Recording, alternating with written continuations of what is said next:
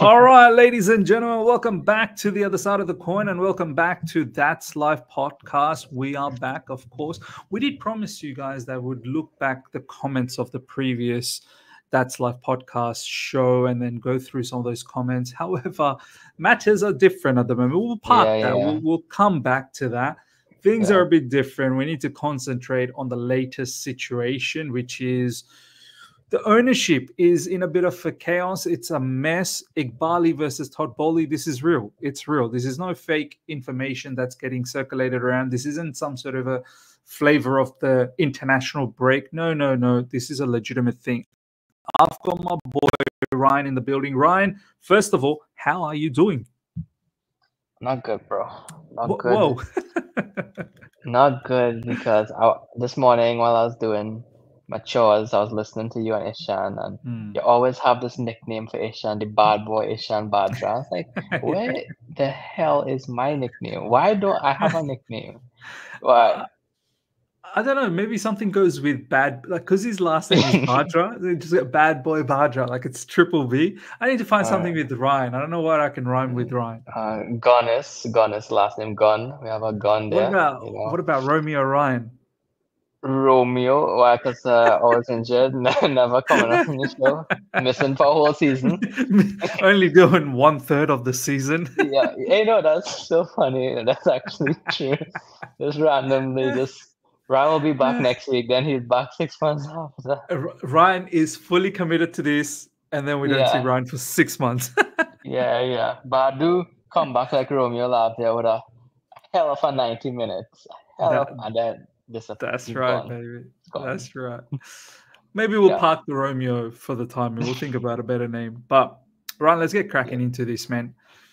You would have seen the news that's been circulating for the past two to three days. Um, and it seems like uh, it, this isn't a shock for us. I, I'm pretty sure you're aware, probably four or five months ago, it was first reported that the relationship between Todd Boehly and Eghbali isn't the str- isn't uh, not strongest, Yeah. but it, it, it's it's just not it's I not like- together.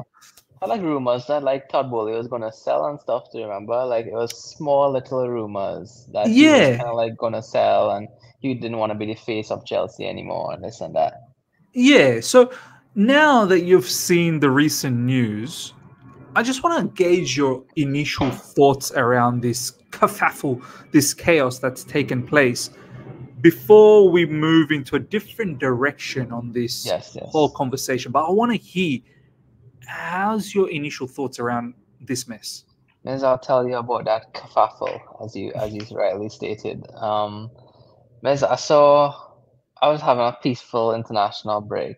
Say, okay, Mm. sign out Twitter. I got locked out, and then um, then I've never got to sign in back. But um, yeah, when I saw the news, I was really shocked. Uh, initial reaction was like, okay, it's international break.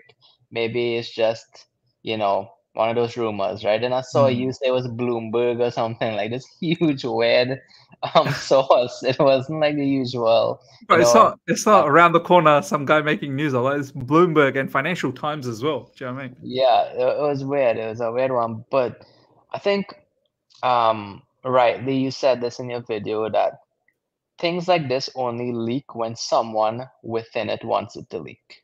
Yeah. Either Todd Boehly or Eghbali wants it to, to leak. Mm. And um I think a lot of people have emotions with this. I think as some Chelsea fans, even though they state to be angry, there, Mm. there's a little bit of excitement when a little bit of drama like this happens in the videos and this and that. But I think I excite if this were to happen to Roman and Roman was having like issues with his right hand man or woman, right?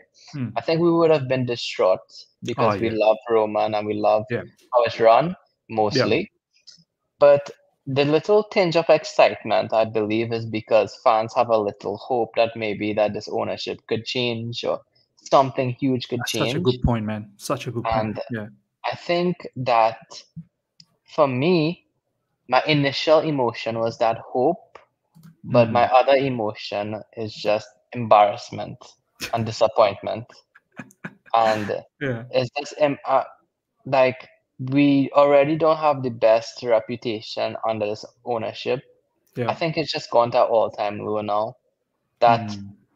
all this time everybody's commenting on our videos saying we're too negative, trust the process when the highest people in this bureaucracy or this structure don't even trust the process. So Yeah. that was my initial reactions there. What about you? Nah, man, well put, man. Some really, really important points that you've laid out. I'm I'm of the similar vein to you as well. That I think the excitement that is seeping into everyone's, um, you know, belief in this whole situation is that hopefully we will become far more competitive, but the reality kicks in, as you said, that how embarrassing is this, man? Like, Yep. three. This is the third season of the new ownership coming together. We don't really have anything substantial to show for it, and on top of that, on the third season, where we're meant to be consolidating everything and trying to now act at a proper manner, and now you're telling me you guys can't even get along, like. And then CEO left this and that. Well, the the CEO situation, I think the guy was well known to Clearlake, right, Eghbali, because he comes from that private equity. That that Chris Jurasek guy who recently parted ways is, I think, part of Clearlake Capital's setup over there. So I don't know whether he was always meant to be there uh, in a longer run, but whatever the case was, he didn't do much when he was at Chelsea anyway. He called people customers, fans customers. He called the game product.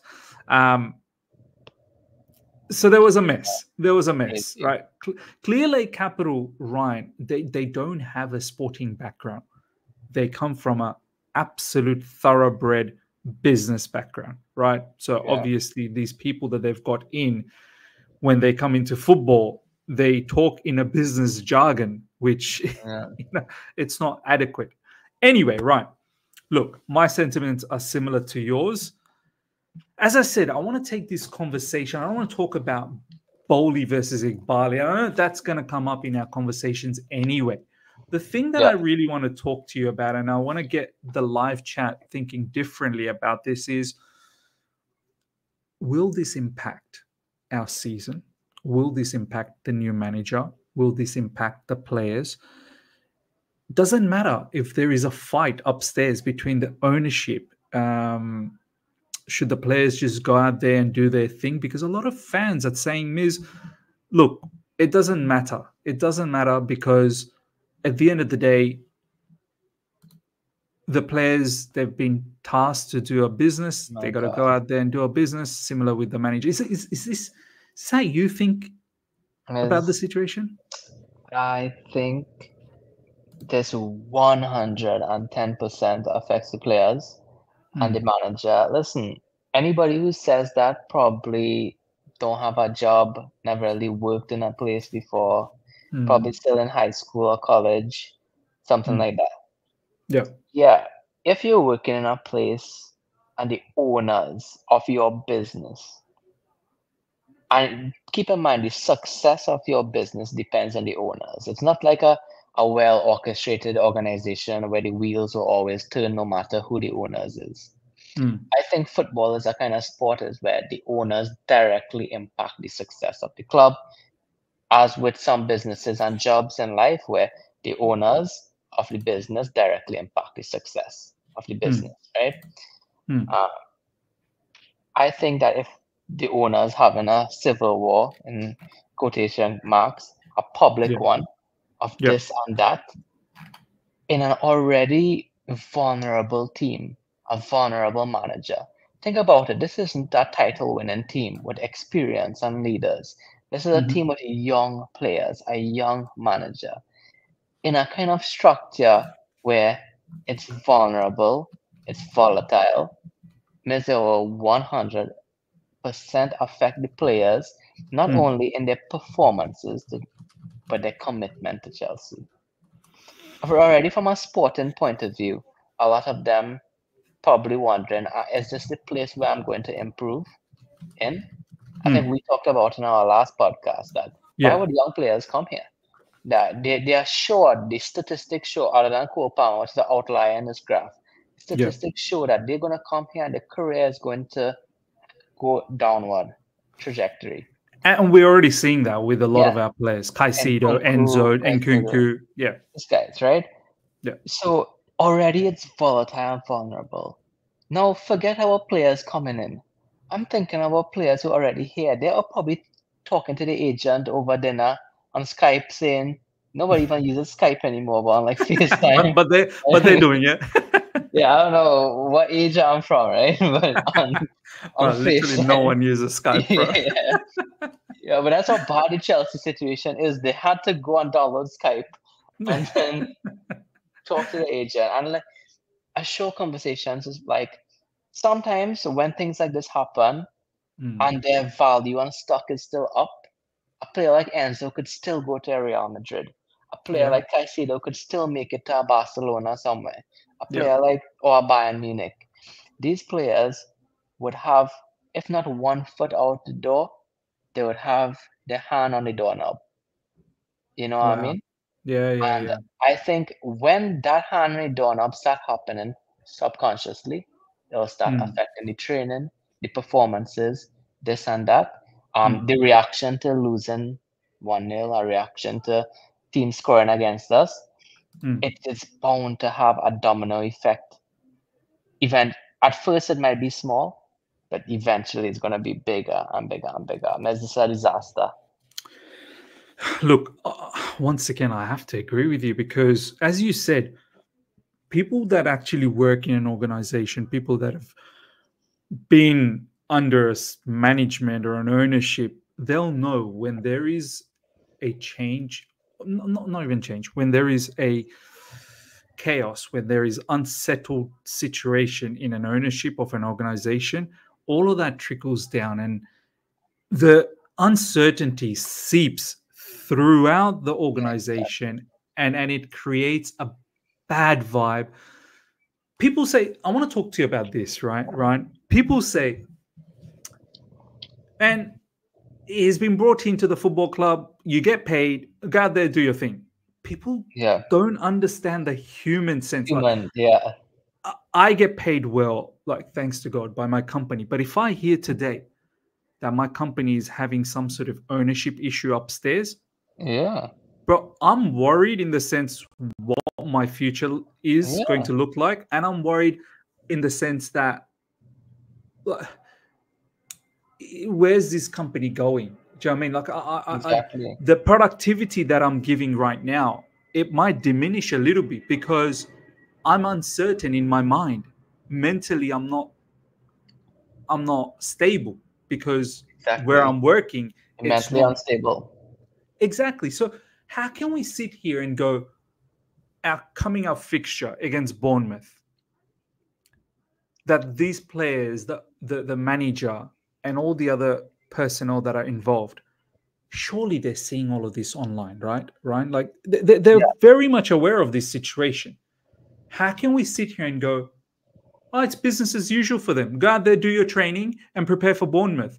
Surely, somewhere in the back of their mind, they're a little bit unstable.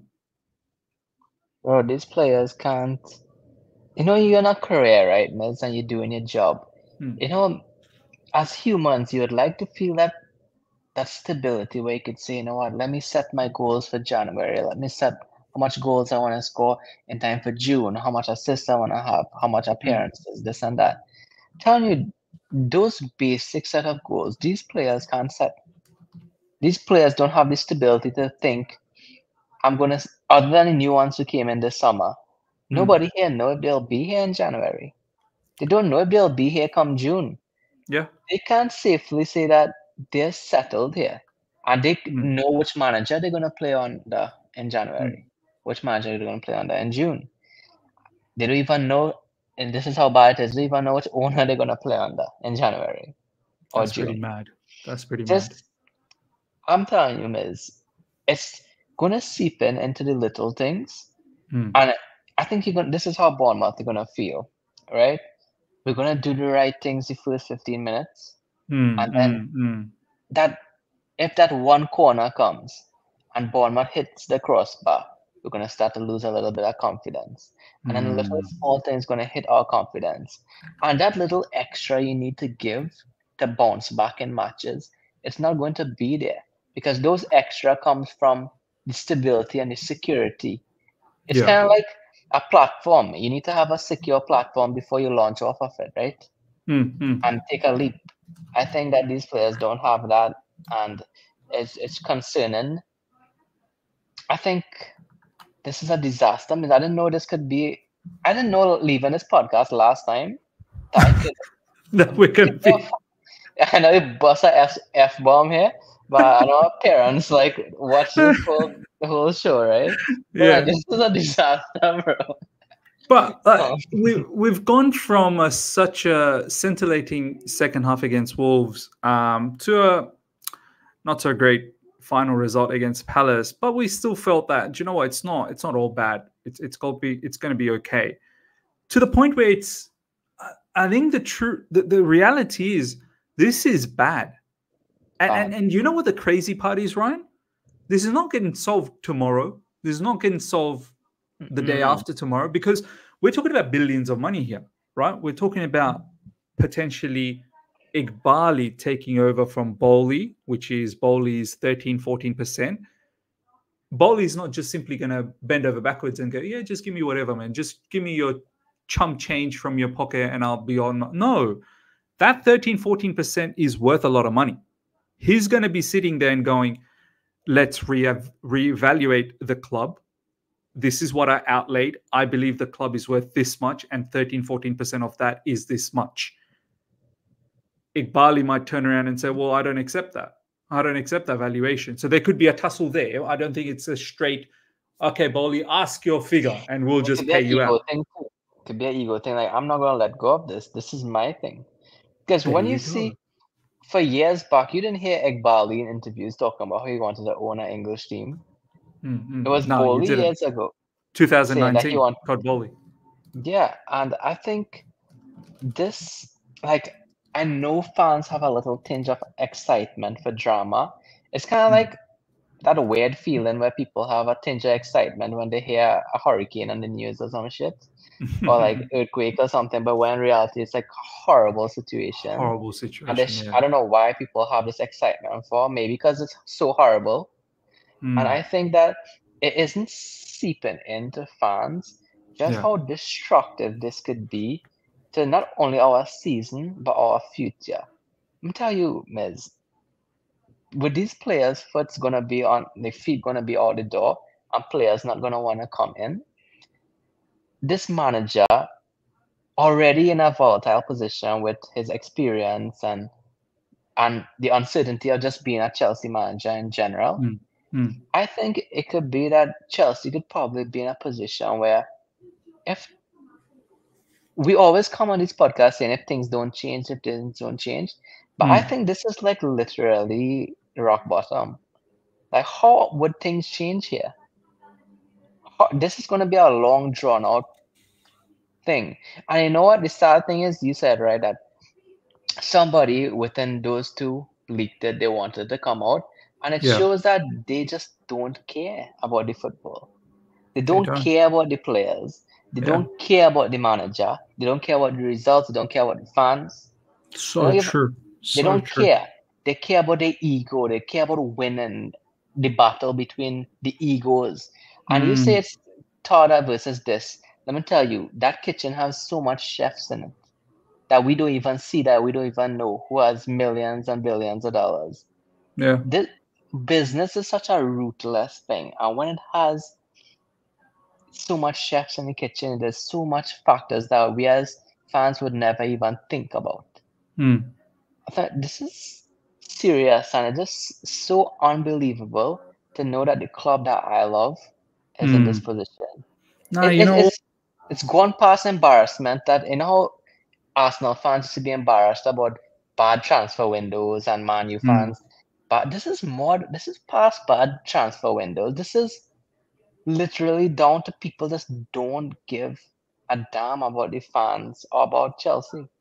so true, bro. Like when you actually paint the picture that way, that the fact that they've leaked the information. Not only means that they want the fans to know about this and and maybe they want to gauge where the fans are going in terms of which way they want to go is it Boehly is it Eghbali whatever the case.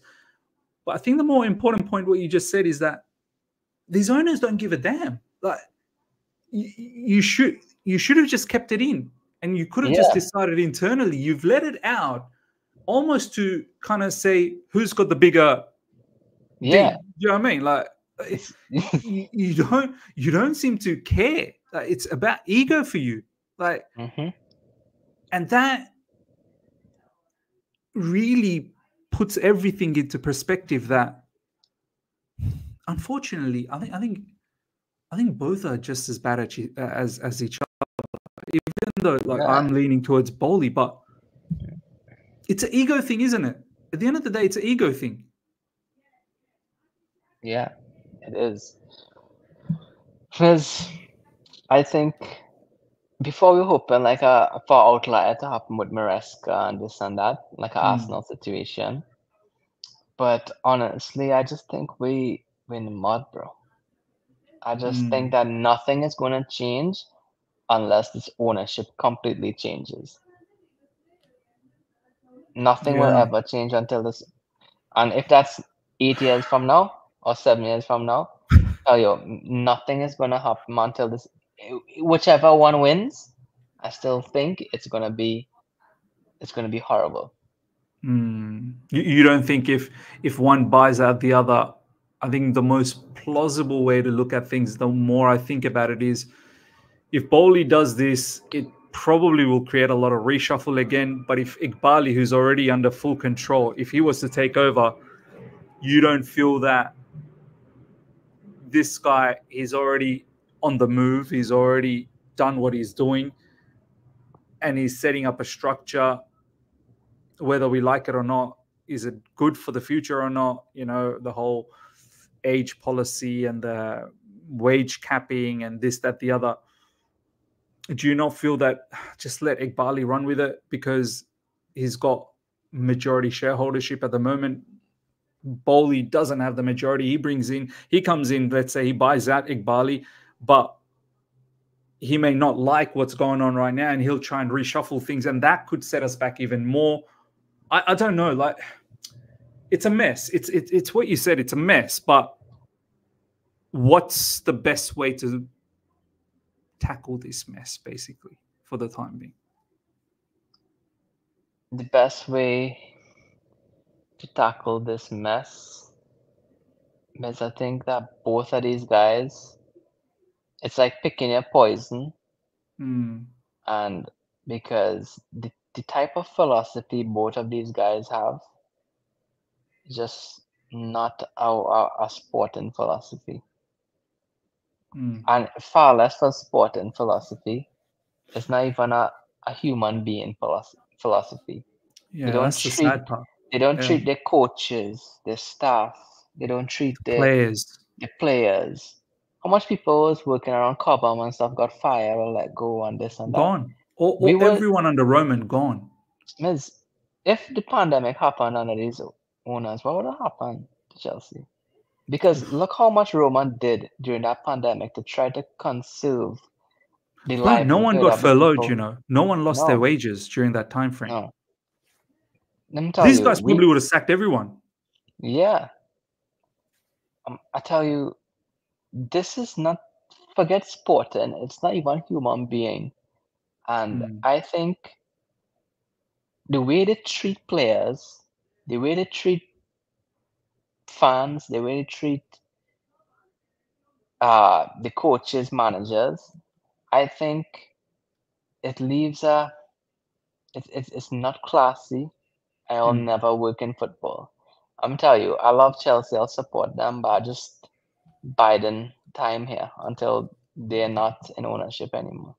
Because I don't think we'll ever be where we were before. We under Roman we are thinking how to become a Real Madrid and a Bayern Munich and a Barcelona. Now we're trying to be we now we're trying to say how do we become Brighton. A, how yeah. can we be Brighton like no, but, uh, a far no, greater scale? No, but we fall so badly now. We're thinking how do we become a fourth place team again? Yeah. Yeah. Before we are trying to become a first place team, I think it's unbelievable that we would used to be on this podcast here with the Mm. about being excited about Champions League semi final, Timo running in behind, Tuchel, the, the, the 3 4 3, yeah. the, the wide overload, the middle free, Pulisic dropping into number 10, Timo in behind, Yeah. Rudiger clearing up in the back. Bro, we had Good such moments. happy times just Yeah. a few years ago. Kante running through the middle like a crazy man. Mm. We won the Champions League. We, people cried on the streams. Yeah. The club that they love since they're small. And like, think about that. I'll honestly say I don't see us being there under this ownership. Whether it takes five years, 10 years, 15 years, 20 years, I don't see us ever It just won't happen. Like like you honestly feel it just won't happen. No, because it's okay if you don't have a sporting philosophy. Mm. right? We could they it has some hope that somewhere down the line they could say that you know we're gonna get the right football people in charge. We're gonna say that we own up to our mistakes. We're gonna get Mm. the right manager, start from scratch. Yeah. Okay. But when you treat human beings the way you treat human beings, and like if there's nothing and nobody, and fans, I just Mm. think that's something that never fixes and never changes. It's just in tune to who you are. Unfortunately, it, it is at this club. It's it's it's it's sad, man. It really is sad. Just when we all thought, like, finally, all right, third season. Let's see. It's been abysmal the first two. New manager, philosophy under the new manager, and and and and here we are. Like again, another. And this isn't even like a small thing. This is this is identity of Chelsea Football Club. Like this is ownership from the top where the issue's at. Ryan, as Enzo Maresca, like I've been very impressed with him since he's taken over. The way he talks in uh, press conferences, the way he's been dealing with things. Even he must be sort of thinking, "Wow, what is this, man?" Like I knew Chelsea was a chaos. We've chopped and changed so many managers already under the new ownership, but now uh, the owners are in disagreement between them two. I mean, oh, how do you like? What if Boehly turns around now and goes like? Because apparently you need sign-offs from all owners. Uh, ultimately, I guess Eghbali holds the power, no problems. But Boehly still signs things off. Uh, I'm sure they have a hierarchical structure as to when things are happening, who signs off and whatnot. What if Boehly just all of a sudden takes a stance that I'm signing nothing anymore? Like, I feel sorry for Enzo Maresca, man. Like as a manager Yeah, coming bro. into this situation. Yeah, I mean, honestly, Miz, I don't even know. I don't know who is gonna want to come in this job. I know it shows. I said this. We said this three months ago, six months ago, one year ago.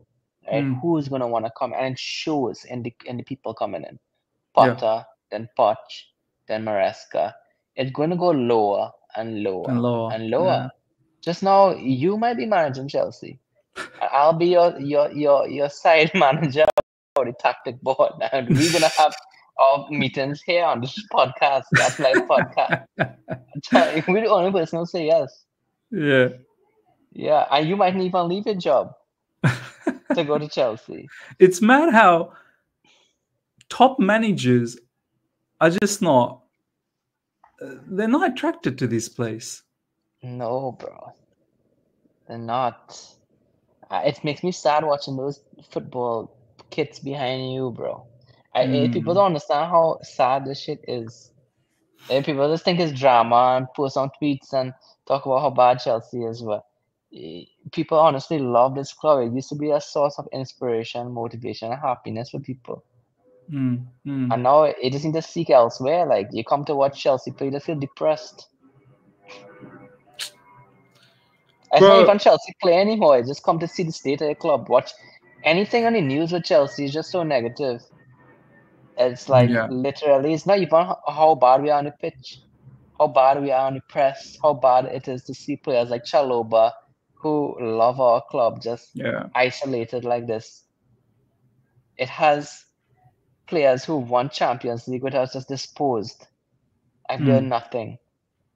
No class, nothing, no thank you, no send off. Do, do, you know what? Let's talk a little bit about this because I had a few people say these sort of things about other clubs in the live stream yesterday with Ishan. They were like, um, is don't act like this. These things don't happen on other clubs. Like you know, Arteta was ruthless with X Y Z players. Um, so and so were ruthless with X Y Z players from their club, and I'm like, yeah, but look at th- those clubs have some level of stability. They don't go out there and just willy nilly just kick players out and bring in a plethora of players. Dude, we kicked out our captain from last season. The, you see what I mean? Like we we literally bought in a lot of players last summer and sold a lot of players last summer, which was off the back of doing a lot of business in the first summer when the owners took in, uh, came in, and a lot of our players that were part of a successful Champions League squad they left. Again this summer, whole bunch of new players coming, whole bunch of players have left this is not the same as Arteta trying to build Arsenal or any other trying to be trying to trying to be ruthless in their football club. Like and we shouldn't talk about Arteta because this man win nothing. Like Arteta isn't like the pep or this and that. I think and the thing is with Chelsea, it's like okay, so when Pep this like disband somebody, right?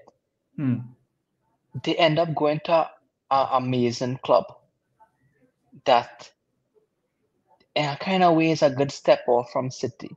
Mm. The thing about Chelsea is like we just banish players. We don't give a shit about their future. We just say, yeah. yo, find something before the window dance, find a solution. It's like we ruin it, it's that kind of thing is like if you're gonna sell players, right? At least have them on the bench a little bit.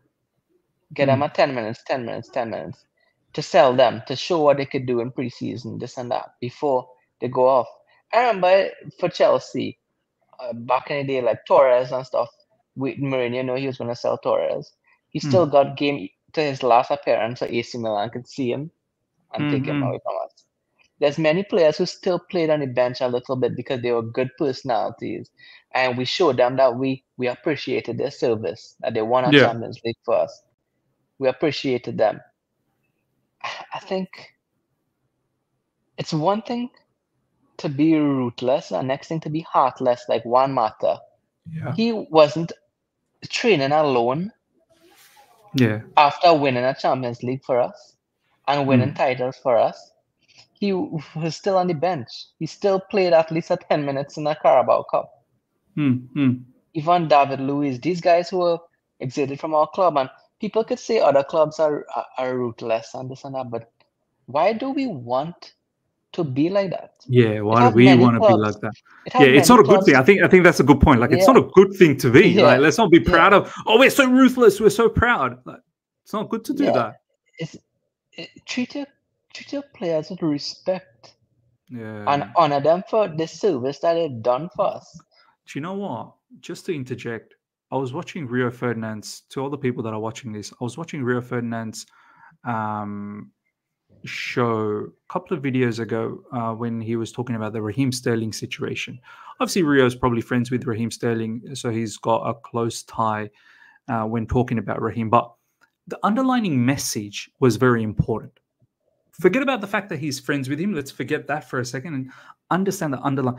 What Rio Ferdinand was saying that because that whole show was about predominantly about Chelsea, right? And I think Jody Morris was there and um, Joleon Lescott was in that show. The underlining message, what they were trying to say was that it's not very attractive what Chelsea is doing, like the way they're dealing with players. Exactly. Chopping and changing, not even letting them know about the plan. Like, at least have the courtesy from the get go and letting them know. Like, I don't know what conversations took place with Ben Chilwell from the start of this season before the preseason, Ben Chilwell literally got a contract extension a little over maybe 15, 16 months ago. Right? Maybe maybe the start of Pochettino um, season. Ben Chilwell got a contract extension just post Potter era. So we're not talking about that long ago. Ben Chilwell still has three years left. After this season, he'll have two years left in his contract. What message is Ben Chilwell getting here? You give me a contract extension, and then new manager comes in, and now I'm not even to be seen in the in the squad. Now, I'm not advocating for Ben Chilwell. Like people will listen to this and go, "Oh, Miz wants Ben Chilwell." No, uh, that's not what I'm saying. Ben Chilwell doesn't fit, but the underlining message is how are we dealing with all of these things? How are we dealing with Ch- Chalobah thing? How are we dealing with, you know, Conor Gallagher situation? How are we dealing with, as I said, Ben Chilwell, Raheem Sterling, and the list goes on. You. Angelo Gabriel, who literally came 12 months ago. It's a it's a respect thing. It kind of shows, yeah, like the manager comes in and he said, you know what, these players are a bunch of nobodies. I don't respect them. And the fans don't hold these players with love in their heart. So the fans mm. won't give a shit what I do with these players. Because let me tell you, if it had Marcelo and Real Madrid and he won Champions League for them, and you just came in and you said, but Marcelo go and train alone. Find find a solution. Yo, nobody in their right mind, especially a manager who's 41 years old or something, yeah. would would do that. You know? Because there's a respect there. The fans mm. hold this player. The titles show this player name, the medals show it. This and that. They've won things for the club. When you come in here, you know, it, it bothers me how they did things with Chilwell and Kovacic mm. and these mm. guys, because Chilwell won a Champions League for us. Mm. Kovacic won a Champions League for us. It has certain guys that I don't like how they did things with. Yeah. You know? And it's like it's not it's okay if there's not part of the plans, but don't come in like these guys are nobodies. Mm. So hmm. now the people in the club will be like, I could win whatever with Chelsea, the highest trophy ever with Chelsea. They still would not give a shit about me if yeah, I get injured. They won't treat me well. Yeah. If I get injured at this club, I might as well go to a dungeon or something. Because mm. they would not take care of me. They would dispose of me. They have no loyalty here. Look in Barcelona. I know their financial situation is crazy. Mm. Right? But it has some players, man, they get injured like Gavi and mm. um Bernal is the next one, twice yeah. ACL, this and that. Yeah. They have reassurances, man. That you know what? We're gonna give you a contract extension, even though you did the ACL. We have faith in you that mm. you're gonna come back here and you're our boy. You know what I mean? You're our academy boy. And nobody is just gonna come here and say we don't want you because we've been working with you since you're 12 years old. Mm. And we believe in you. And I think at Chelsea, it's crazy that they could come and do Chalobah and even it, it was embarrassing how they handled things with Gallagher too. Yeah. Just have him up and down in Spain and England and this and that. It's like they really treat people like nobodies.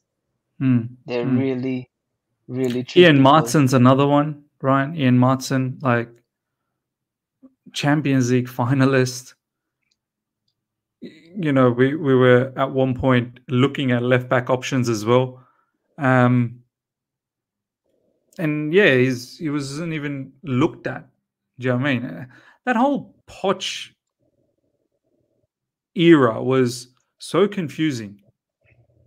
And the and the crazy part was it was all under Eghbali, Eghbali's guidance anyway. Like, and then he and then they chopped him as well. Like they chopped Poch now you've brought in Maresca, no problems.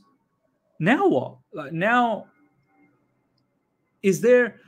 And this is how I want to end this, right? Now with this ownership, what is our remit, right? What is Maresca's remit under this new ownership? Is there accountability if achievements aren't achieved? Basically, if if if targets aren't achieved, like is there any accountability in this football club? Like the what targets? What is because, the target? What is the target? Enzo already said we don't win trophies here. Not even what trophies. We don't even win games. Yeah. What target is you setting, setting for yourself? There's no targets here. There's nothing. There's no standard. There's no targets. There's no this is Chelsea. I remember Eden Hazard used to come on interviews and we used to play the best teams. It used to be like, we could win because we are Chelsea. Hmm. That was the standard people used to have going in. We are Chelsea. We could beat anybody. Now it's we are Chelsea. It's a possibility we could lose this game, but it's not normal. Hmm.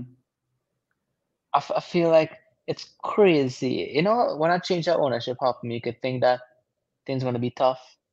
But like, I feel like every wrong thing that could happen happened. Happened. Yeah. Yeah. It was a disaster. And and do you know what the crazy thing is, Ryan? Like, I look back at when these owners took over. They didn't need to do much, you know. They really they did not not, need to. They did not. Oh my god. the, the the crazy thing is the transformation that they did is so Yo. absurd. Like they needed to come into the party and go, okay, we've got Rudiger, we've got Christensen, we've got a few players that are going to be going out on free. Let's sort this out first because we don't want them to go out on free. We need to have a solid defense. They've been doing fine. We've got a genuinely a top top manager in the likes of Thomas Tuchel, who has seen quite a lot of success at Chelsea Football Club. Should have had a lot more silverware if it wasn't for certain individuals not being able to put away the goals. Should have had a, at least a couple of domestic cups as well under his belt. Okay, let's let's keep that brother. Let's keep a few players. Let's keep Thomas Tuchel. Let's talk to Thomas Tuchel and weed out who are not needed in the team anymore, who are not part of the plans for the timing, or who are not feeling uh, right at the football club, i.e., at that moment, Ziyech, Lukaku, XYZ, right? And let's focus on where Chelsea's is at, which was a given top four team, consistently doing well at that time in the Champions League, just won the Champions League, and then the following season almost defeated Real Madrid, who ended up going and winning the whole thing anyway. And let's give a couple of players, quality players, and slowly we'll work out the financial fair play things, wage structure, who needs to leave, and whatnot. They came in like a thunderstorm and just said goodbye, bring whole heap of people that didn't work out, say goodbye to them as well, but a whole heap of people, they're not working out. And I'm like, dude, the establishment wasn't that bad. Was not. okay, we weren't not. competing in the Premier League, but it wasn't that. It, it's not. It's not how it is now. I'll tell you. I'll tell you. The, the, the whole matter of fact is that these ownership never wanted to give responsibility to anybody else or power to anybody hmm. else. They didn't want a true sporting director. They didn't want a true manager. That's so true, bro. That's so true. They don't want. It's ego. It all comes down to ego, Yeah. no? They had one or two sporting directors available at that time. That was Mm. available. Guy from Liverpool, guy from Atletico, this one, that Yeah. one. Experienced people within football. The guy from I think he had one from Monaco. I Yeah, know. Paul Mitchell, I think. Yeah. Yeah, it had experience there. Well, No. they did bring in Christopher Vivell, who was experienced. and let's get Yeah, out of this football club. We don't do experience exactly. No, no manager too. Mm. I think it was. It's just unbelievable. As you said, they had. They didn't have much to do, man. They could have even wait a little bit. They, you know, Marina and Cech said they would have stayed for Mm. six months. Yeah. Wait, learn the football, get interview some people, have them watch the current team you have. Because obviously, you're coming from America, you're not gonna know who is Christensen, who is Rudiger. You're not gonna know these guys. Yeah. But say, have faith that wait, we won Champions League last year, we were champions of the world. We have one of the best managers. At least do your homework a bit of what you're spending billions of dollars on. Yeah. Right? And then say, Yeah. okay, we're gonna wait have a good transition, work with the past owners. Why is it that ego thing that they didn't want to work with a transition? It it's such a they wanted to run away so much and had such a big ego that they didn't want anything from the past ownership. Think about it. They didn't yes. want any player from that past ownership. No. Any not even player, any like personnel that were involved as well. Like they, I think they reached out to people to stay, but I think people just didn't like the way they were running the show. One of the biggest reasons why Thomas Tuchel didn't get along, and it's been reported by Athletic, is the fact that Eghbali, who is now completely running the show, right? He's so micromanagement style. Like he wants a report almost daily basis. What is the squad up to? What what are they doing? What's the manager doing? How's the train? Like you gotta let the football club just breathe and, and allow it to run the show. You don't need to be micromanaging at and I feel like this micromanaging style is is driven from the business world. Like this is how it's run at a, at a, at a private equity firm. I'll tell you something. Mourinho left and he came back for a reason. He could say whatever about the Roman and they were never friends and this and that, but he respected the ownership. Mm. Let me tell you, players left and they came back to Chelsea because they felt respect. Their family mm. felt it's a kind of thing where you move to a cl- club and country with your wife, your small little kid. Chelsea mm. used to go the above and beyond to help them with housing, to help them with settling, to make mm. sure their family felt safe and good and settled that these players actually wanted to come back. The David Luiz, this and that, mm. came back to the club after a while, right? Mm. let me tell you, there's no player within the past two years who left Chelsea and would regret it, or any manager who left it and regretted. They would actually leave Chelsea and thank God that they left Chelsea. Whereas before, under Roman, there was so much players that loved the club and so much managers that loved the club. Look, Sarri, Sarri mm-hmm. openly came out and said in an interview that if it's one he regret he has was leaving yeah. Chelsea because yeah. Marina, he said that Marina treated them good, that they didn't want him to leave, that they gave him everything he needed, that mm-hmm. they understood the situation. I think that top class managers respected Chelsea and they would yeah. always come back. That's why you would still see Ancelotti in the stadium coming back mm. to watch. Chelsea play. You mm-hmm. think any you think Potter or Pochettino has come back to the stadium to watch Chelsea play? no. Never. Let me tell you, when last you saw a legend in Chelsea watching in the stadium? I think Eden Hazard, but he came in because there was some promotion. Oh God, I had some burgers, fries, beers. no, but when last I remember that when we used to watch under Roman, that every week we would see a legend yeah. come and watch yeah. the game and this and that. It seems like even our legends want nothing to do with our club. And well, when one of our legend actually speaks out, he get bashes. That, that's the thing. Legends these days seem to be talking against. Do you know what I mean? They don't really. Yeah. Like for really Mikel, I don't know what why people hate on Mikel for. Maybe maybe the truth is ugly. That's the issue, isn't it? it just because he's spitting facts and truth yeah, we don't want to hear it. We don't want to hear it. And then, look, let, let's wrap this up. This is what it comes down to, doesn't it, Ryan? That all those people that only want to hear positive. I'm pretty sure at the end, by the end of this podcast, a lot of people coming, oh, here we go again. People talking negative, but don't blame us. Yeah, Stop blaming us. the people. Stop blaming Ryan or blaming me or any other Chelsea fans out there. We're not the ones who are creating the news over there. Our owners can't get along, mate. Like, don't come at us. Like, don't bring your energy that we are just being negative for the sake of being negative. No. It's shocking. It's abysmal situation. The fact that on the third season, where we're meant to be solidifying our position and trying to compete at the highest level, we are still talking about how can we make it back into top four and on top of that, owners can't even get along with each other. Mm-mm. Or owners can't even be positive. Tell them to be positive. Yeah. Tell them to trust us. the process.